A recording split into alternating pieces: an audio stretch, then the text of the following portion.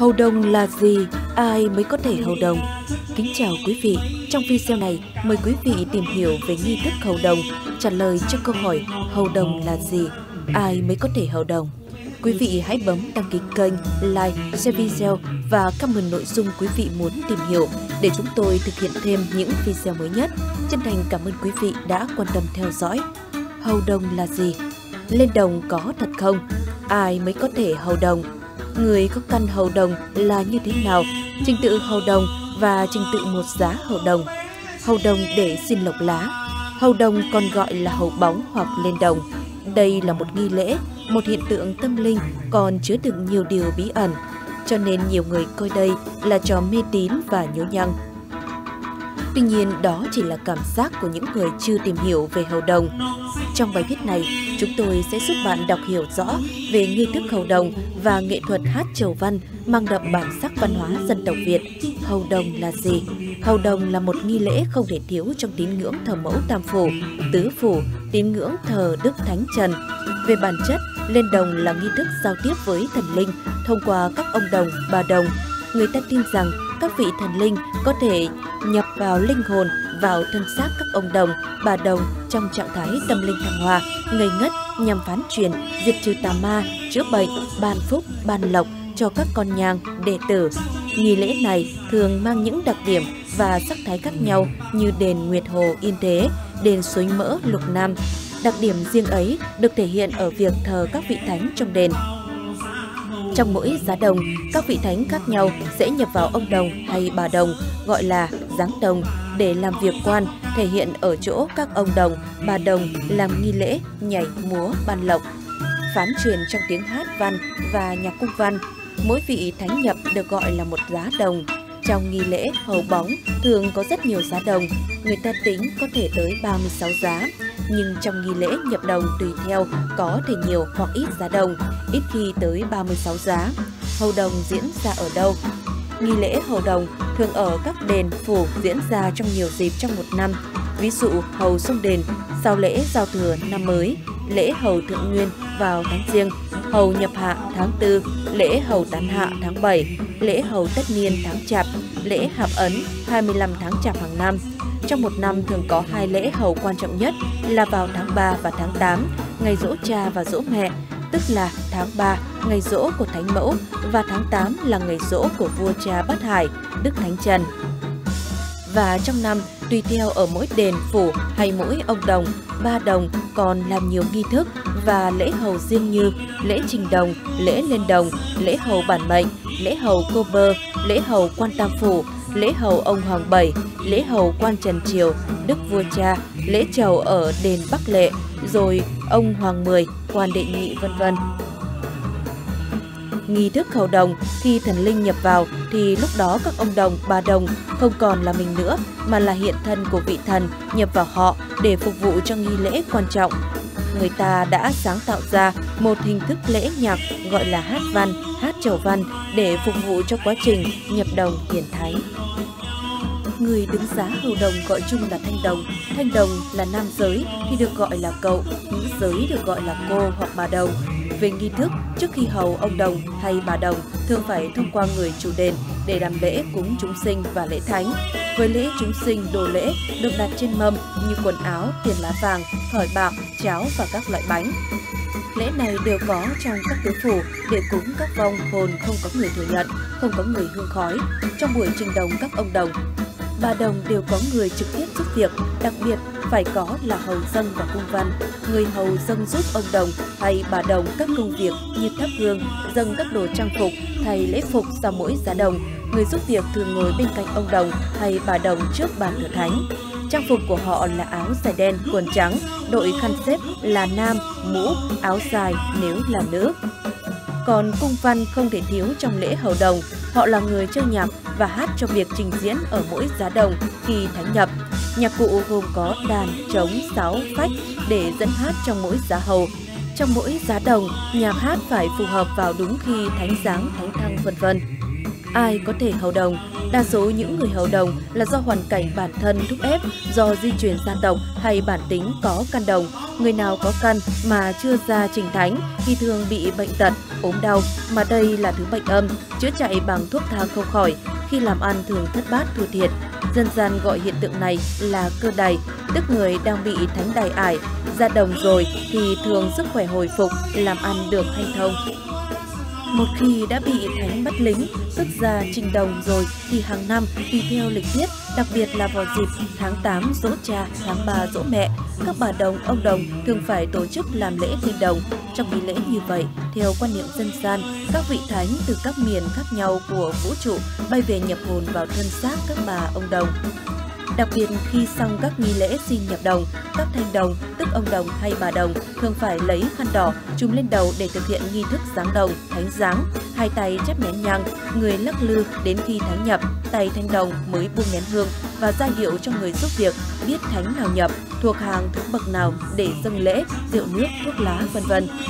Và khi đó cung văn mới bắt đầu đấu nhạc và sướng cung văn phù hợp với thánh vừa nhập. Trong khi thánh giáng thường có hai hình thức, dáng trùng khăn gọi là hầu trắng mạn và dáng mở khăn. Chuẩn bị cho một buổi hầu đồng, điện thờ. Điện thờ chính là thờ hệ thống mẫu tứ phủ, mẫu thượng thiên trời ở giữa, mẫu địa đất ở bên phải, mẫu thoải nước ở bên trái, mẫu thượng ngàn núi rừng. Chọn ngày lành. Người hầu đồng trước tiên phải chọn ngày lành tháng tốt để chuẩn bị hầu với thủ nhang nhà đền, phủ hay điện. Giàn nhạc hầu bóng hầu đồng gồm có một đàn nguyệt, một đàn nhị, một sáo, một trống lớn, một trống nhỏ, một cảnh đôi, một phách. Tùy từng địa phương, tùy hoàn cảnh hành lễ mà người ta có thể thêm bớt nhạc cụ này hoặc nhạc cụ khác, nhưng người ta không thể bớt đi đàn nguyệt, trống nhỏ, cảnh đôi vì đây là những nhạc cụ nòng cốt, nhạc cụ tính cách của giàn nhạc hầu bóng. Nhân sự trong một buổi hầu đồng, ngoài ông đồng hay bà đồng thường có thêm hai hoặc bốn phụ đồng được gọi là nhị trụ hoặc tứ trụ hầu dâng đi theo để chuẩn bị trang phục lễ lạc. Trang phục hầu đồng có bao nhiêu giá đồng thì tương ứng với ngần ấy bộ trang phục và trang sức đi kèm. Dân gian truyền lại có 36 giá đồng tương ứng với 36 vị thánh và điều đó có nghĩa là sẽ có 36 bộ trang phục dành cho các giá đồng. Vì vậy người hầu đồng sẽ phải chuẩn bị đầy đủ trang phục tùy theo định hầu mấy giá, thường thì cần những trang phục sau đây. Khăn đỏ phủ diện, ít nhất là 5 chiếc áo dài màu sắc khác nhau và một quần dài trắng, khăn tấu hương và một ít loại khăn khác. Tất đai lưng màu, thẻ ngà, tiền bạc, vòng, hoa tai, chuỗi hạt, xuyến, quạt và son phấn. Tuy nhiên cũng có những trường hợp người hầu đồng chỉ cần một vuông vải đỏ. Màu sắc của trang phục phải phù hợp với màu sắc của từng phủ. Miền trời tượng trưng bằng màu đỏ, thiên phủ, miền đất là màu vàng, địa phủ, miền sông biển là màu trắng, thoải phủ miền rừng núi là màu xanh nhạc phủ. Lễ vật hầu đồng, lễ vật trong mỗi vấn hầu trước kia thường đơn giản, vật phẩm cơ bản gồm xôi, thịt, hoa quả, trầu cao, rượu, thuốc và mã. Ngày nay, lễ vật ngày càng phong phú, gồm cả những sản phẩm hàng hóa công nghiệp, thực phẩm đương thời đắt tiền, dùng trong cả lễ mặt và lễ chay. Lễ vật trình đồng phải khác với lễ vật hầu bản mệnh hay tiệc khao, được trình bày trên một kỳ tháp hình chữ nhật kê chính giữa và gồm những thứ sau đây chén đũa bạc, đĩa và cốc pha lê. Chính giữa là một cái gương, trên phủ một chiếc khăn thêu. Hai bên bục và trước kỷ bày bốn mâm lễ tứ phủ, mỗi mâm có 9 quả trứng, một cái lược, một cái quạt, một đôi cuốc, 9 vuông vải màu phủ lên trên. Màu phải là màu chính của tứ phủ, xanh, đỏ, trắng và vàng. Bên cạnh mâm lễ có một cái chung nhỏ, một cái thao nhỏ. Cứ mỗi lễ phải thay một hình nhân, nộm và bốn lốt Bên cạnh mâm lễ tứ phủ là mâm lễ sơn trang mà bất cứ thứ lễ gì cũng phải chia ra là 13 phần, một phần lớn bày ở giữa, còn 12 phần nhỏ bày xung quanh. Ngay cạnh đó là một mâm hài dân trang hoặc giống màu, mũi hài có theo hình chim phượng, 100 vàng thoi, giấy vàng xếp thành thoi. Lễ Phật Hầu Đồng, lễ Phật Hầu Đồng ở Tây Thiên, lễ mặn sơn trang gồm có ốc, tôm, cá khô, cua, 13 hoặc 15 con, mực, nếp cẩm, sữa tươi lễ dân trang về đồ chay thường có một mâm hoa quả gồm khế chua sung chát gừng cay, chanh ớt, dứa ở dưới bệ. Thường thì tán lộc dân trang ở giá trầu bé hoặc cô bé hoặc bất kỳ giá trầu hoặc cô miền thượng. Trước bàn thờ bày đủ các loại mã, và một chiếc thuyền rồng hình cánh phượng có 12 hình nhân chèo thuyền, một đôi ngựa và một đôi voi có đủ yên cương và hàm thiếc. Những đồ dùng mã người ta sẽ hóa đốt sau khi lễ xong. Ngày nay lễ vật có thay đổi đôi chút tùy nơi, tuy nhiên vẫn phải giữ căn bản tối thiểu tùy đồng tiền dâng cúng. Trình tự một buổi hầu đồng Bắt đầu buổi hầu đồng, người ta đặt các lễ vật lên hương án.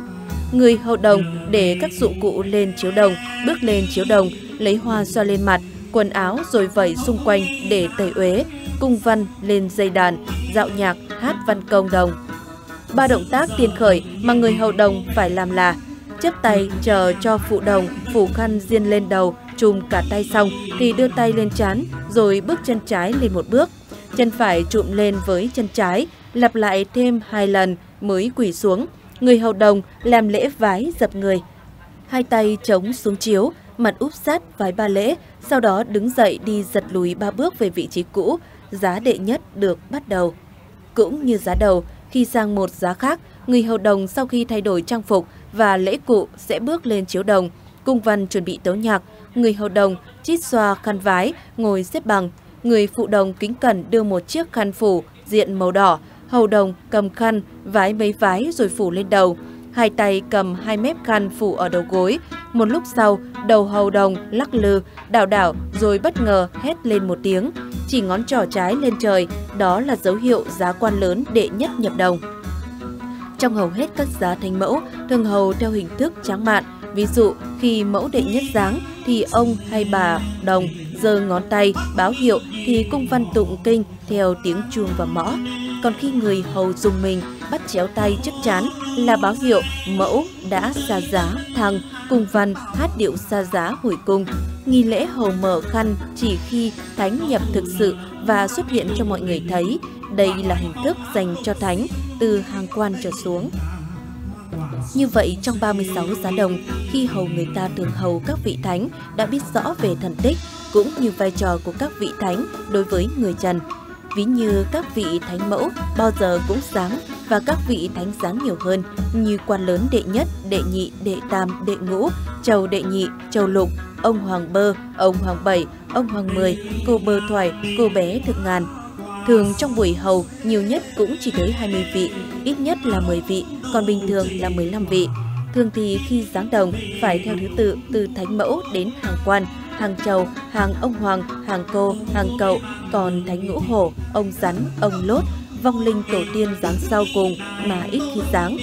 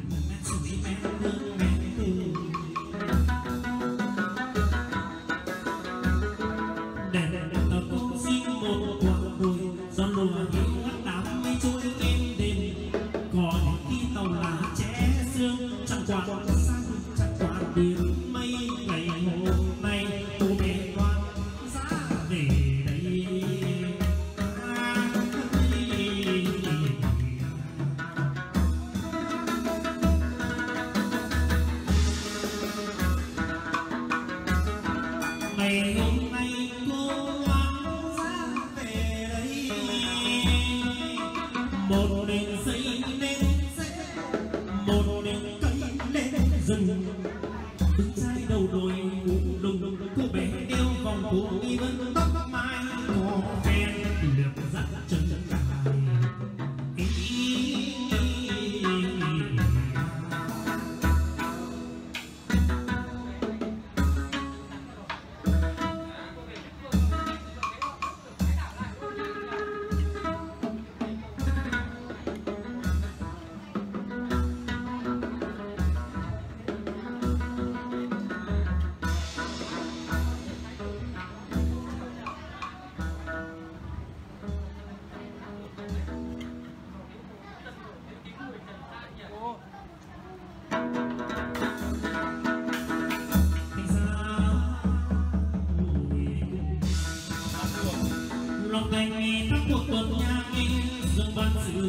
nghe tôi cam đường tiên tu